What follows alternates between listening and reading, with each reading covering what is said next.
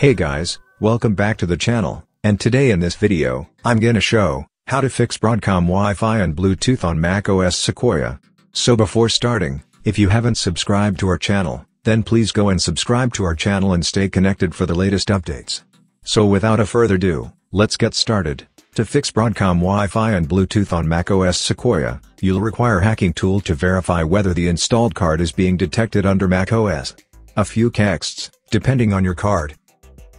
Open Core Auxiliary Tools for mounting ESP and editing config plist, and lastly, Open Core Patcher for patching system volume. Now, firstly, make sure that the Wi-Fi and Bluetooth module is being detected. To check that open Hackintool. After Hackintool is open, locate your Wi-Fi module under the PCIe section.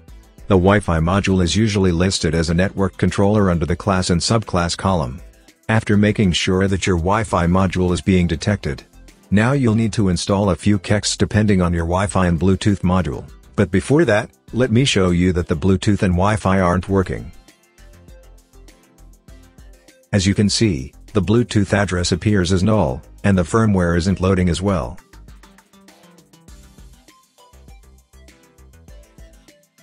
Here, you can see that the Bluetooth hardware is detected and routed via a USB bus. To tell you, the USB ports are mapped and the Bluetooth port is set as internal, 255, but it still doesn't work, despite being a native BCM94360 CD card, it's from Fenvi and the model is T919. In the Wi-Fi section, there is no info for the installed Wi-Fi hardware. Also in system settings, none of the hardware is working.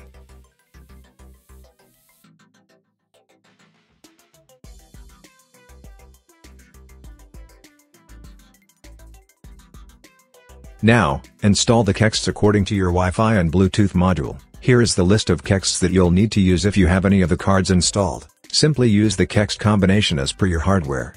The card currently I'm using is an Apple Airport Fenvi card, so I'll be using the kexts according to that. You'll get the required kexts under the video description. A few kexts are directly available for download, and a few of them need to be extracted from the OCLP repository. Now after getting the required kexts, open the Open Core Auxiliary Tools and mount your ESP.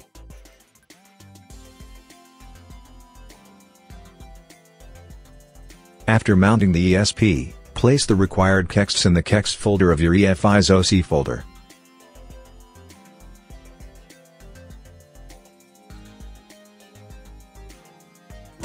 Now after placing the kexts, open config.plist and then add the entries of newly added kexts in the kernel tab.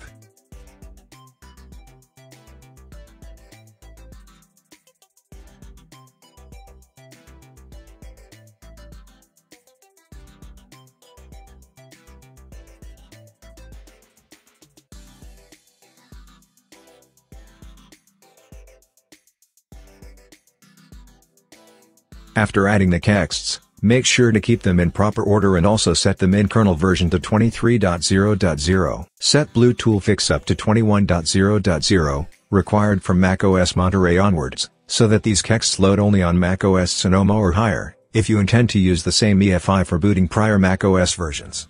Now after specifying the kext minimum kernel, now you'll need to block IO Skywalk family from loading. For that, go to the block section of the kernel tab, and then add com.apple.iokit.io Skywalk family as identifier to block the IO Skywalk family from loading.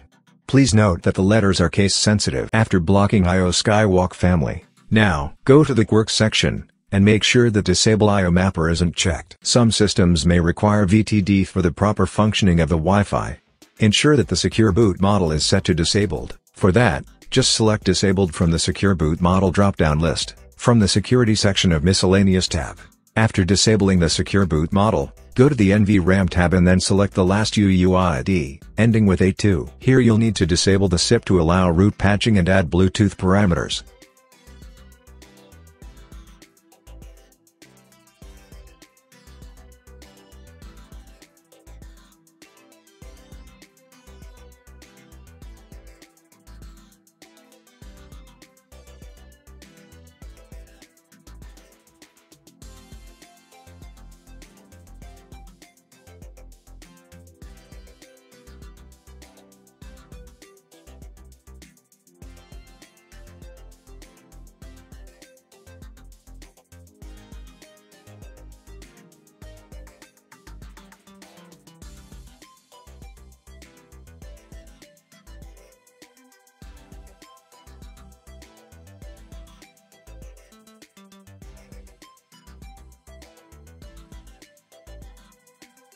After adding the parameters, navigate to the delete section and add the following parameters under the last UUID ending with A2.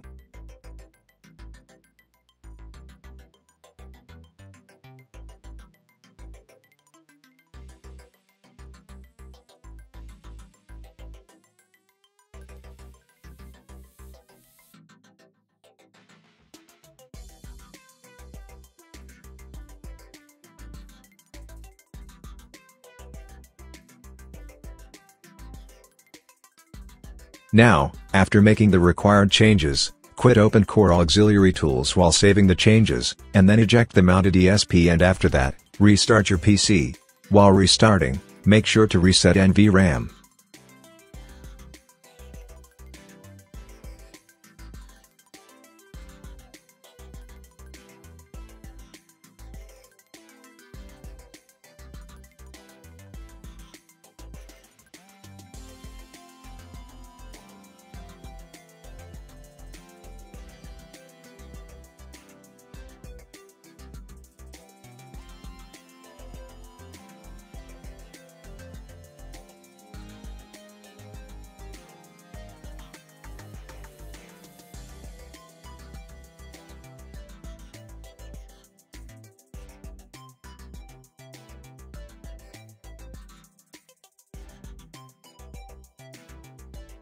Now after booting back, open, OpenCore Patcher, and now you'll need to patch the system volume.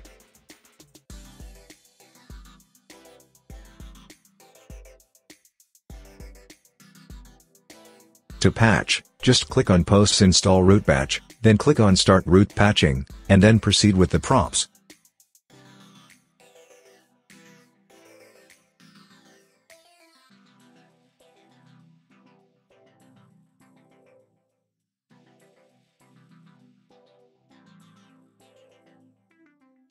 While restarting, make sure to reset NVRAM.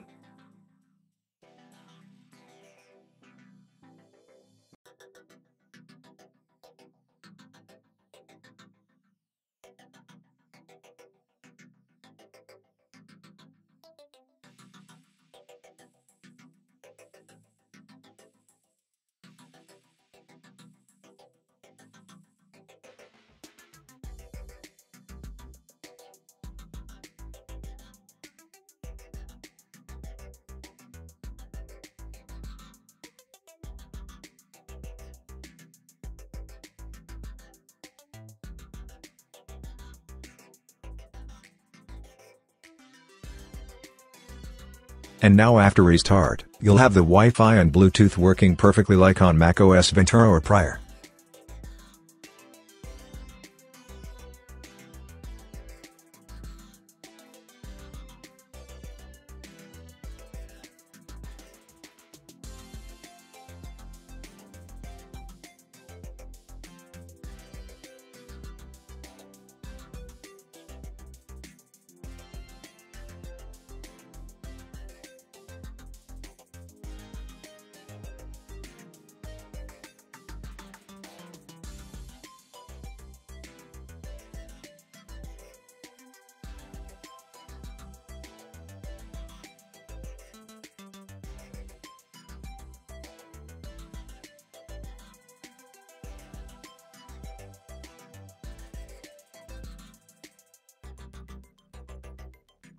And now, as you can see, the Wi-Fi is connected and working perfectly as expected. Also, both 2.4 GHz and 5 GHz work absolutely fine.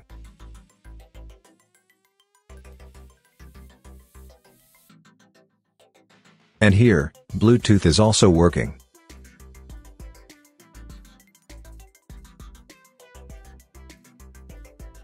As you can see, the Bluetooth now has a proper address along with the firmware.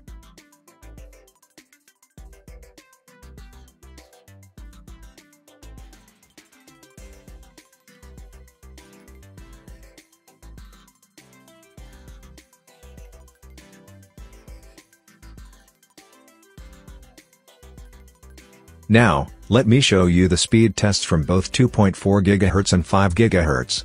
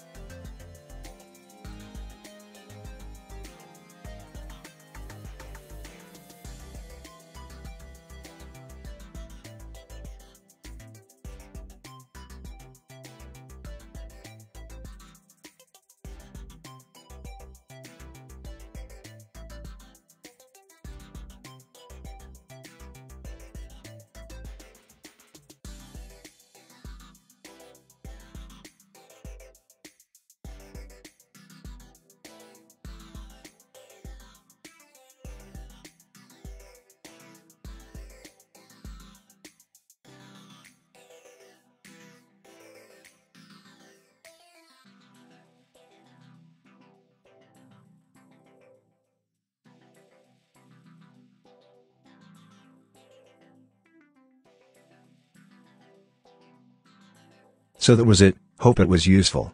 Consider like for the video, and subscribe to the channel. And if you have any questions, just comment down below, or create a thread on our forum. Make sure to check out the forum for in-depth guides. Thanks for watching and have a great day ahead.